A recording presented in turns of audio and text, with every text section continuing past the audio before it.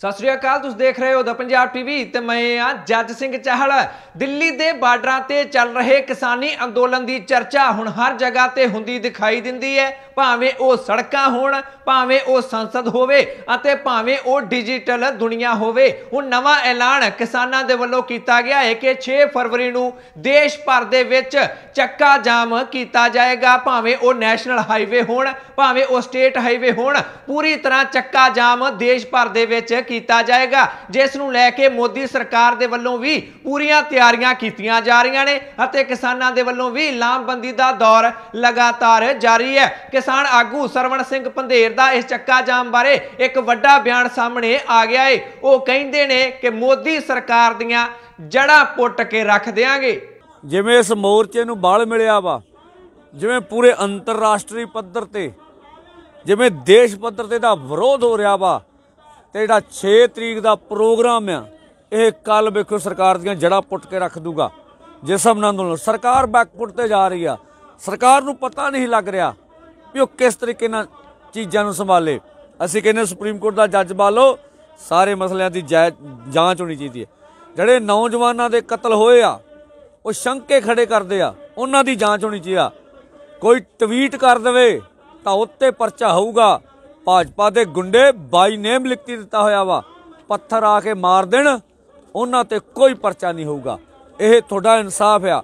ਇਹ ਤਾਂ ਗੱਲ ਹੋ ਗਈ ਸੜਕਾਂ ਦੀ, ਕਿਉਂਕਿ ਸੜਕਾਂ ਤੇ ਖੇਤੀ ਕਾਨੂੰਨ ਦੇ ਖਿਲਾਫ ਕਿਸਾਨੀ ਅੰਦੋਲਨ ਚੱਲ ਰਿਹਾ ਹੈ। ਹੁਣ ਚੱਲਦੇ ਆ ਸੰਸਦ ਦੇ ਵੱਲ। ਸੰਸਦ ਦਾ ਸੈਸ਼ਨ ਵੀ ਬਜਟ ਸੈਸ਼ਨ ਚੱਲਦਾ ਦਿਖਾਈ ਦਿੰਦਾ ਹੈ ਅਤੇ ਵਿਰੋਧੀ ਪਾਰਟੀਆਂ ਨੇ ਸੰਸਦ ਦੇ ਵਿੱਚ ਵੀ ਮੋਦੀ ਸਰਕਾਰ ਦੇ ਨੱਕ ਵਿੱਚ ਦਮ ਕੀਤਾ ਹੋਇਆ ਹੈ। ਅੱਜ ਵਾਰੀ ਆ ਗਈ ਪੰਜਾਬ ਤੋਂ ਰਾਜ ਸਭਾ ਦੇ ਮੈਂਬਰ ਪ੍ਰਤਾਪ ਸਿੰਘ ਬਾਜਵਾ ਦੀ ਅਤੇ ਉਹਨਾਂ ਨੇ ਗੱਦਾਫੀ ਦੇ ਨਾਲ ਤੁਲਨਾ ਮੋਦੀ ਸਰਕਾਰ ਦੀ ਕਰ ਦਿੱਤੀ ਹੈ। 1971 ਦੇ ਵਿੱਚ ਬੰਗਲਾਦੇਸ਼ ਦੀ ਲੜਾਈ ਦੇ ਵਿੱਚ ਅਸੀਂ 93000 ਪਾਕਿਸਤਾਨੀਆਂ ਨੂੰ ਐਜ਼ ਵਾਰ ਪ੍ਰਿਜ਼ਨਰਸ ਲਿਆ ਸੀ। 2 ਸਾਲ ਅਸੀਂ ਉਹਨਾਂ ਨੂੰ ਰੋਟੀ ਵੀ ਦਿੱਤੀ, ਪਾਣੀ ਵੀ ਦਿੱਤਾ ਬੈਡਿੰਗ ਵੀ ਦਿੱਤੀ ਲੌਜਿੰਗ ਵੀ ਦਿੱਤੀ। ਅੱਜ ਅਸੀਂ ਆਪਣੇ ਕਿਸਾਨ ਵੀਰਾਂ ਨੂੰ ਬਿਜਲੀ ਕੱਟ ਦਿੱਤੀ। ਅੱਜ ਅਸੀਂ ਇੰਟਰਨੈਟ ਕੱਟ ਦਿੱਤਾ। ਅਸੀਂ ਅੱਜ ਉਹਨਾਂ ਤੋਂ ਪਾਣੀ ਕੱਟ ਦਿੱਤਾ। ਅਸੀਂ ਉੱਥੇ ਤਵਾਰਾ ਬਾਬਡ ਵਾਇਰਸ ਐ ਲਗਾ ਦਿੱਤੀਆਂ, ਜਿਸਾ 1960 ਦੇ ਵਿੱਚ ਬਰਲਿਨ ਵਾਰ ਬਣਾਈ ਜਾ ਰਹੀ ਹੈ।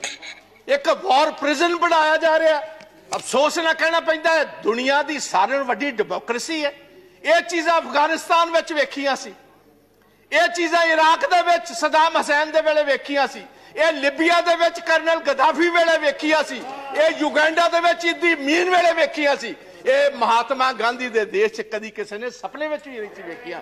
ਜੋ ਸਾਡੇ ਕਿਸਾਨ ਵੀਰਾਂ ਨਾਲ ਇਹ ਹੋ ਰਿਹਾ। ਇਸ ਤਰ੍ਹਾਂ ਸੜਕ ਤੋਂ ਲੈ ਕੇ ਸੰਸਦ ਤੱਕ ਕਿਸਾਨੀ ਅੰਦੋਲਨ ਦੇ ਕਰਕੇ ਅਤੇ ਕਿਸਾਨੀ ਅੰਦੋਲਨ ਨੂੰ ਦਬਾਉਣ ਵਾਲੀਆਂ ਕਾਰਵਾਈਆਂ ਦੇ ਕਰਕੇ ਮੋਦੀ ਸਰਕਾਰ ਕਸੂਤੀ ਘਿਰਦੀ ਦਿਖਾਈ ਦਿੰਦੀ ਹੈ। ਹੁਣ ਆਉਨੇ ਆ ਡਿਜੀਟਲ ਦੁਨੀਆ ਦੇ ਵੱਲ। ਰਿਹਾਨਾ ਦੇ ਵੱਲੋਂ ਕਿਸਾਨ ਪੱਖੀ ਇੱਕ ਟਵੀਟ ਕਰ ਦਿੱਤਾ ਗਿਆ, ਜਿਸ ਤੋਂ ਬਾਅਦ ਭਾਰਤ ਦੇ ਵਿੱਚ ਬਹੁਤ ਸਾਰੇ ਬਾਲੀਵੁੱਡ ਸਿਤਾਰਿਆਂ ਦੇ ਵੱਲੋਂ ਅਤੇ ਖਿਡਾਰੀਆਂ ਦੇ ਵੱਲੋਂ ਕਿਸਾਨਾਂ ਦੇ ਖਿਲਾਫ ਅਤੇ ਮੋਦੀ ਸਰਕਾਰ ਦੇ ਪੱਖ ਵਿੱਚ ਇੱਕ ਤੋਂ ਬਾਅਦ ਇੱਕ ਟਵੀਟ ਕੀਤੇ ਗਏ। ਪਰ ਹੁਣ ਬਾਲੀਵੁੱਡ ਦੇ ਸਤਾਰੇ ਅਤੇ ਖਿਡਾਰੀ ਵੀ ਆਪਸ ਵਿੱਚ ਵੰਡੇ ਜਾਂਦੇ ਦਿਖਾਈ ਦੇ ਰਹੇ ਨੇ। ਜੇਕਰ ਗੱਲ ਕਰੀਏ ਬਾਲੀਵੁੱਡ ਦੇ ਸਤਾਰਿਆਂ ਦੀ, ਤਾਂ ਉਹਨਾਂ ਦੇ ਵਿੱਚ ਸੋਨੂ ਸੂਦ ਦਾ ਨਾਂ ਲਿਆ ਜਾ ਸਕਦਾ ਹੈ ਉਹਨਾਂ ਨੇ ਇੱਕ ਛੋਟਾ ਜਿਹਾ ਟਵੀਟ ਕਰਕੇ ਬਹੁਤ ਵੱਡੀ ਗੱਲ ਕਹਿ ਦਿੱਤੀ ਹੈ ਉਹਨਾਂ ਨੇ ਆਪਣੇ ਟਵੀਟ ਦੇ ਵਿੱਚ ਲਿਖਿਆ ਹੈ ਕਿ ਜੇਕਰ ਗਲਤ ਨੂੰ ਸਹੀ ਕਹੋਗੇ ਤਾਂ ਨੀਂਦ ਕਿਵੇਂ ਆਵੇਗੀ? ਸੋਨੂ ਸੂਦ ਦੇ ਇਸ ਟਵੀਟ ਨੂੰ ਉਹਨਾਂ ਸਾਰੇ ਬਾਲੀਵੁੱਡ ਸਤਾਰਿਆਂ ਦੇ ਟਵੀਟ ਨਾਲ ਜੋੜ ਕੇ ਦੇਖਿਆ ਜਾ ਰਿਹਾ ਹੈ, ਜਿਨ੍ਹਾਂ ਦੇ ਵਿੱਚ ਉਹਨਾਂ ਨੇ ਕਿਸਾਨਾਂ ਦੇ ਖਿਲਾਫ ਜੋ ਵੀ ਰਣਨੀਤੀ ਮੋਦੀ ਸਰਕਾਰ ਦੇ ਵੱਲੋਂ ਅਪਣਾਈ ਜਾ ਰਹੀ ਹੈ, ਉਸ ਨੂੰ ਠੀਕ ਕਹਿਣ ਦੀ ਕੋਸ਼ਿਸ਼ ਕੀਤੀ ਹੈ।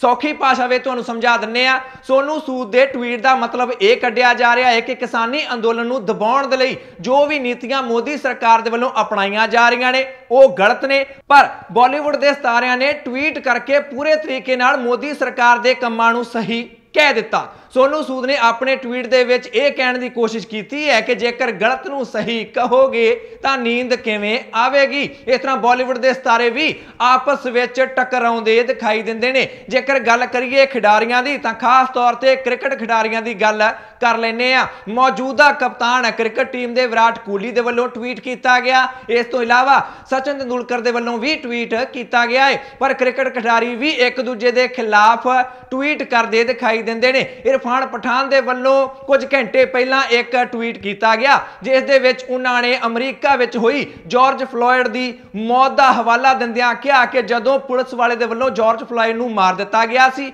ਉਸ ਤੋਂ ਬਾਅਦ ਭਾਰਤ ਨੇ ਵੀ ਆਪਣਾ ਜਿਹੜਾ ਦੁੱਖ ਹੈ, ਉਹ ਜ਼ਾਹਿਰ ਕੀਤਾ ਸੀ। ਅੱਗੇ ਲਿਖ ਦਿੱਤਾ, ਜਸਟ ਸੇਇੰਗ ਕਿ ਵੈਸੇ ਹੀ ਮੈਂ ਇਹ ਗੱਲ ਕਹਿ ਰਿਹਾ ਹਾਂ, ਪਰ ਉਹਨਾਂ ਦੇ ਵੀ ਇਸ ਟਵੀਟ ਦਾ ਮਤਲਬ ਬੜਾ ਡੂੰਗਾ ਕੱਢਿਆ ਜਾ ਰਿਹਾ ਏ। ਟਵੀਟ ਦਾ ਮਤਲਬ ਇਹ ਕੱਢਿਆ ਜਾ ਰਿਹਾ ਹੈ ਕਿ ਉਹ ਕਹਿਣਾ ਚਾਹੁੰਦੇ ਨੇ ਕਿ ਜਿਹੜੇ ਲੋਕ ਕਹਿ ਰਹੇ ਨੇ ਕਿ ਅੰਤਰਰਾਸ਼ਟਰੀ ਪੱਧਰ ਤੇ ਭਾਰਤ ਦੇ ਮਸਲੇ ਨੂੰ ਨਹੀਂ ਚੁੱਕਿਆ ਜਾਣਾ ਚਾਹੀਦਾ ਕਿਉਂਕਿ ਇਹ ਆਪਣਾ ਅੰਦਰੂਨੀ ਮਸਲਾ ਏ, ਤਾਂ ਫਿਰ ਅਮਰੀਕਾ ਵਿੱਚ ਜਿਹੜੀ ਘਟਨਾ ਹੋਈ ਸੀ ਪੁਲਿਸ ਵਾਲਿਆਂ ਦੇ ਵੱਲੋਂ, ਜਦੋਂ ਮਾਰ ਦਿੱਤਾ ਗਿਆ ਸੀ ਜਾਰਜ ਫਲਾਇਡ ਨੂੰ, ਤਾਂ ਫਿਰ ਭਾਰਤੀਆਂ ਨੇ ਵੀ ਉਸ ਵਿੱਚ ਦਖਲ ਅੰਦਾਜ਼ੀ ਕਿਉਂ ਕੀਤੀ ਸੀ? ਇਹ ਕਹਿਣ ਦੀ ਕੋਸ਼ਿਸ਼ ਇਰਫਾਨ ਪਠਾਨ ਨੇ ਆਪਣੇ ਟਵੀਟ ਦੇ ਵਿੱਚ ਕੀਤੀ ਹੈ। ਪਰ ਕੁਝ ਮਿੰਟ ਪਹਿਲਾਂ ਹੀ ਉਹਨਾਂ ਦੇ ਵੱਲੋਂ ਇੱਕ ਹੋਰ ਵੀ ਟਵੀਟ ਕਰ ਦਿੱਤਾ ਗਿਆ ਅਤੇ ਕੁਝ ਵੀ ਉਹਨਾਂ ਨੇ ਨਹੀਂ ਲਿਖਿਆ। ਉੱਪਰ ਇਹਨਾਂ ਲਿਖ ਦਿੱਤਾ ਕਿ ਨੋ ਕੈਪਸ਼ਨ ਨੀਡਡ ਭਾਵ ਕੁਝ ਵੀ ਫੋਟੋ ਬਾਰੇ ਲਿਖਣ ਦੀ ਲੋੜ ਨਹੀਂ ਹੈ ਅਤੇ ਜਿਹੜੀ ਫੋਟੋ ਉਹਨਾਂ ਨੇ ਟਵੀਟ ਕੀਤੀ ਹੈ, ਉਸ ਬਾਰੇ ਵਾਕਿਆ ਹੀ ਕੁਝ ਲਿਖਣ ਦੀ ਲੋੜ ਨਹੀਂ ਹੈ। ਮੀਡੀਆ ਦੀ ਸੱਚਾਈ, ਜਿਹੜਾ ਸਰਕਾਰੀ ਮੀਡੀਆ ਇਸ ਵੇਲੇ ਪੂਰੀ ਤਰ੍ਹਾਂ ਮੋਦੀ ਸਰਕਾਰ ਦੇ ਪੱਖ ਵਿੱਚ ਭੁਗਤਦਾ ਹੈ,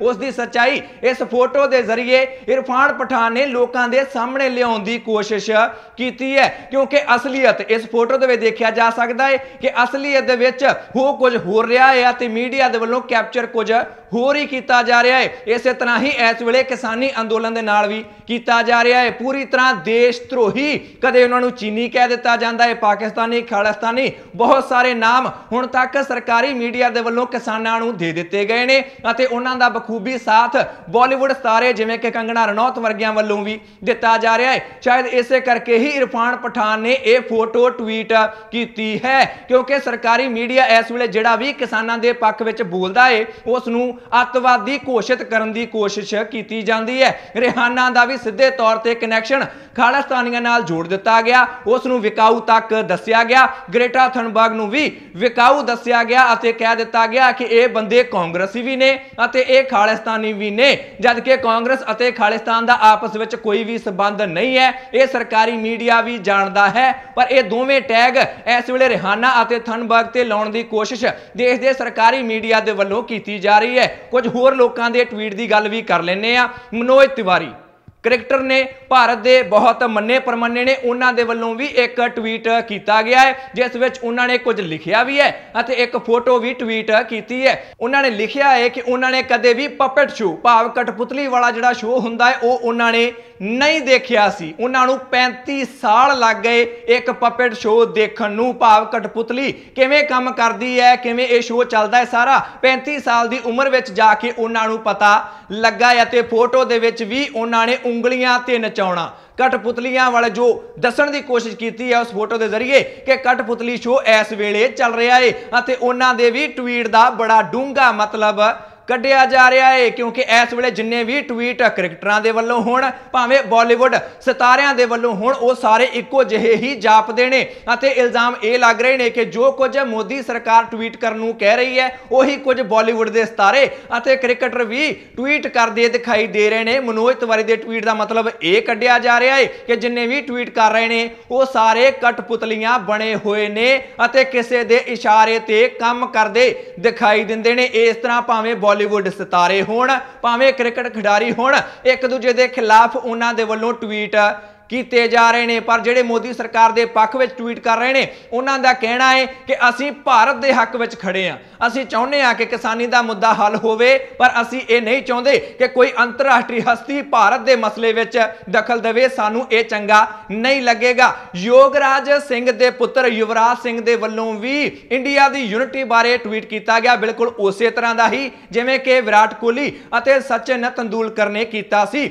ਸਲਮਾਨ ਖਾਨ ਦੇ ਕੋਲੋਂ ਇੱਕ ਪ੍ਰੈਸ ਕਾਨਫਰੰਸ ਦੇ ਵਿੱਚ ਸਵਾਲ ਪੁੱਛ ਲਿਆ ਗਿਆ ਕਿ ਤੁਸੀਂ ਇਸ ਕਿਸਾਨੀ ਅੰਦੋਲਨ ਬਾਰੇ ਕੀ ਕਹਿਣਾ ਚਾਹੁੰਦੇ ਹੋ, ਬੋਲਣਾ ਚਾਹੁੰਦੇ ਵੀ ਹੋ ਜਾਂ ਫਿਰ ਨਹੀਂ? ਤਾਂ ਸਲਮਾਨ ਖਾਨ ਨੇ ਸਿੱਧੇ ਤੌਰ ਤੇ ਕਹਿ ਦਿੱਤਾ ਕਿ ਹਾਂ, ਮੈਂ ਜ਼ਰੂਰ ਬੋਲਣਾ ਚਾਹੁੰਦਾ। ਕਿਉਂ ਨਹੀਂ ਬੋਲਾਂਗਾ? ਮੈਂ ਬੋਲਣਾ ਚਾਹੁੰਦਾ ਹਾਂ। ਪੁੱਛਿਆ ਗਿਆ, ਕੀ ਬੋਲਣਾ ਚਾਹੁੰਦੇ ਹੋ? ਤਾਂ ਕਹਿੰਦੇ ਨੇ ਕਿ ਮੈਂ ਇਹੀ ਬੋਲਣਾ ਚਾਹੁੰਦਾ ਕਿ ਇਸ ਮਸਲੇ ਦਾ ਹੱਲ ਉਸੇ ਤਰੀਕੇ ਨਾਲ ਕੱਢਿਆ ਜਾਣਾ ਚਾਹੀਦਾ ਹੈ, ਜੋ ਤਰੀਕਾ ਸਭ ਲਈ ਸਹੀ ਹੋਵੇ। ਬਹੁਤ ਵਧੀਆ ਢੰਗ ਨਾਲ ਇਸ ਮਸਲੇ ਦਾ ਹੱਲ ਕੱਢਿਆ ਜਾਣਾ ਚਾਹੀਦਾ ਏ। ਮੈਂ ਇਸ ਮਸਲੇ ਤੇ ਇਹ ਕਹਿਣਾ ਚਾਹੁੰਦਾ ਹਾਂ। ਕ੍ਰਿਕਟਰ ਸੁਰੇਸ਼ ਰੈਣਾ ਦੇ ਕੋਲੋਂ ਵੀ ਸਵਾਲ ਪੁੱਛਿਆ ਗਿਆ। ਤਾਂ ਉਹਨਾਂ ਨੇ ਕਹਿ ਦਿੱਤਾ ਕਿ ਮੈਂ ਇਸ ਤੇ ਕੋਈ ਵੀ ਕਮੈਂਟ ਨਹੀਂ ਕਰਨਾ ਚਾਹੁੰਦਾ। ਇਸ ਤਰ੍ਹਾਂ ਭਾਵੇਂ ਉਹ ਸੜਕ ਹੋਵੇ, ਭਾਵੇਂ ਉਹ ਸੰਸਦ ਹੋਵੇ, ਭਾਵੇਂ ਉਹ ਡਿਜੀਟਲ ਦੁਨੀਆ ਹੋਵੇ, ਹਰ ਜਗ੍ਹਾ ਤੇ ਕਿਸਾਨੀ ਅੰਦੋਲਨ ਛਾਇਆ ਦਿਖਾਈ ਦਿੰਦਾ ਹੈ ਅਤੇ ਰਿਹਾਨਾ ਦੇ ਟਵੀਟ ਤੋਂ ਬਾਅਦ ਅੰਤਰਰਾਸ਼ਟਰੀ ਪੱਧਰ ਤੇ ਵੀ ਬਹੁਤ ਵੱਡੇ ਲੋਕਾਂ ਦੇ ਵੱਲੋਂ, ਵੱਡੀਆਂ ਹਸਤੀਆਂ ਦੇ ਵੱਲੋਂ ਕਿਸਾਨੀ ਅੰਦੋਲਨ ਦੇ ਪੱਖ ਵਿੱਚ ਲਗਾਤਾਰ ਟਵੀਟ ਕੀਤੇ ਜਾ ਰਹੇ ਨੇ।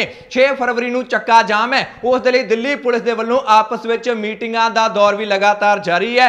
ਖਬਰਾਂ ਆਈਆਂ ਸਨ ਕਿ ਗ੍ਰੇਟਾ ਥਨਬਰਗ ਦੇ ਉੱਪਰ ਦਿੱਲੀ ਪੁਲਿਸ ਨੇ ਪਰਚਾ ਦਰਜ ਕਰ ਦਿੱਤਾ ਹੈ ਉਸ ਤੋਂ ਬਾਅਦ ਗ੍ਰੇਟਾ ਥਨਬਰਗ ਨੇ ਇੱਕ ਟਵੀਟ ਵੀ ਕਰ ਦਿੱਤਾ ਸੀ ਕਿ ਮੈਂ ਡਰਨ ਵਾਲੀ ਨਹੀਂ, ਪੂਰੀ ਤਰ੍ਹਾਂ ਫਾਰਮਰ ਪ੍ਰੋਟੈਸਟ ਦੇ ਹੱਕ ਵਿੱਚ ਮੈਂ ਅਜੇ ਵੀ ਹਾਂ, ਕਿਸਾਨੀ ਅੰਦੋਲਨ ਦੇ ਨਾਲ ਖੜੀ ਹਾਂ। ਉਸ ਤੋਂ ਬਾਅਦ ਦਿੱਲੀ ਪੁਲਿਸ ਦੇ ਵੱਲੋਂ ਦੇਰ ਸ਼ਾਮ ਇੱਕ ਪ੍ਰੈਸ ਕਾਨਫਰੰਸ ਕੀਤੀ ਗਈ ਅਤੇ ਉਸ ਦੇ ਵਿੱਚ ਖੁਲਾਸਾ ਕੀਤਾ ਗਿਆ ਕਿ ਜਿਹੜੇ ਪਰਚੇ ਅਸੀਂ ਦਰਜ ਕੀਤੇ ਨੇ ਉਹਨਾਂ ਦੇ ਵਿੱਚ ਅਸੀਂ ਕਿਸੇ ਦਾ ਨਾਮ ਸ਼ਾਮਿਲ ਨਹੀਂ ਕੀਤਾ ਹੈ। ਅਣਪਛਾਤਿਆਂ ਤੇ ਪਰਚੇ ਦਰਜ ਕੀਤੇ ਨੇ। ਗ੍ਰੇਟਾ ਥਨਬਰਗ ਦਾ ਨਾਂ ਉਸ ਦੇ ਵਿੱਚ ਸ਼ਾਮਿਲ ਨਹੀਂ ਹੈ। ਇਸ ਤਰ੍ਹਾਂ ਨਾ ਤਾਂ ਮੋਦੀ ਸਰਕਾਰ ਨੂੰ ਕੁਝ ਪਤਾ ਲੱਗ ਰਿਹਾ ਹੈ ਕਿ ਕਰਨਾ ਕੀ ਹੈ। ਪਹਿਲਾਂ ਕਿੱਲ ਲਵਾ ਦਿੰਦੇ ਨੇ ਸੜਕਾਂ ਤੇ, ਉਸ ਤੋਂ ਬਾਅਦ ਪਟਵਾ ਦਿੰਦੇ ਨੇ ਅਤੇ ਨਾ ਹੀ ਦਿੱਲੀ ਪੁਲਿਸ ਨੂੰ ਪਤਾ ਲੱਗ ਰਿਹਾ ਹੈ ਕਿ ਕੀਤਾ ਕੀ ਜਾਣਾ ਚਾਹੀਦਾ ਹੈ ਇਸ ਸਭ ਦੇ ਵਿੱਚ ਕਿਸਾਨ ਇੱਕ ਵਾਰ ਫਿਰ ਤੋਂ ਫਰੰਟ ਫੁੱਟ ਤੇ ਖੇਡਦੇ ਦਿਖਾਈ ਦਿੰਦੇ ਨੇ, ਕਿਉਂਕਿ 26 ਜਨਵਰੀ ਦੀਆਂ ਘਟਨਾਵਾਂ ਤੋਂ ਬਾਅਦ ਨਿਸ਼ਚਿਤ ਹੀ ਕਿਸਾਨੀ ਅੰਦੋਲਨ ਨੂੰ ਇੱਕ ਵੱਡਾ ਧੱਕਾ ਲੱਗਾ ਸੀ, ਪਰ ਲੱਗਦਾ ਹੈ ਕਿ ਕਿਸਾਨੀ ਅੰਦੋਲਨ ਉਸ ਧੱਕੇ ਤੋਂ ਹੁਣ ਉੱਭਰਦਾ ਦਿਖਾਈ ਦਿੰਦਾ ਹੈ ਇੱਕ ਸਵਾਲ ਤੁਹਾਡੇ ਕੋਲੋਂ ਪੁੱਛ ਲੈਣਾ ਚਾਹੁੰਦੇ ਆ